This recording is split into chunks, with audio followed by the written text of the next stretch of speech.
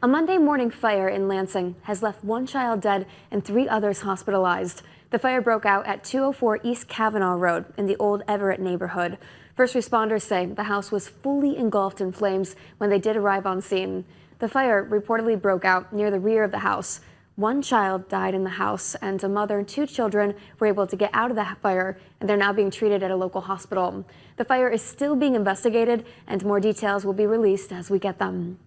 A judge has denied a motion asking to move the case against the parents of the accused Oxford school shooter, Ethan Crumbley.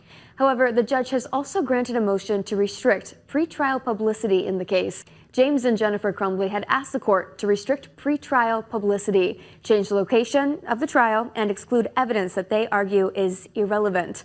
Oakland County prosecutor Karen McDonald argued the motion should be denied.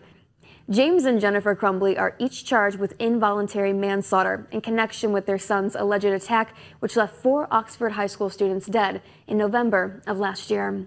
And we do have good news for drivers as gas prices have finally dropped below that $5 mark in more parts of the state. Just in time for the 4th of July weekend. AAA reports that the national average for a gallon of unleaded gas is sitting at $4.90 as of Monday. That's down 8 cents from a week ago, but remains 30 cents higher than a month ago. Prices have a long way to go to get back to last year's average, when the average for a gallon was $3.10 nationally.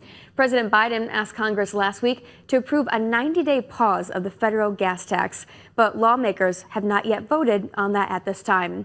Many counties across the state are averaging under the $5 mark. Michigan as a whole is averaging $5.20 for gas.